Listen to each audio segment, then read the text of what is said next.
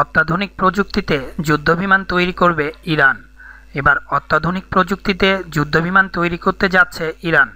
সম্প্রতি ইরানের প্রতিরক্ষামন্ত্রী ব্রিগেডিয়ার জেনারেল আমির হাতামি বলেছেন, যুদ্ধ ও প্রশিক্ষণ বিমানের ক্ষেত্রে আমরা ভালো অবস্থানে রয়েছি।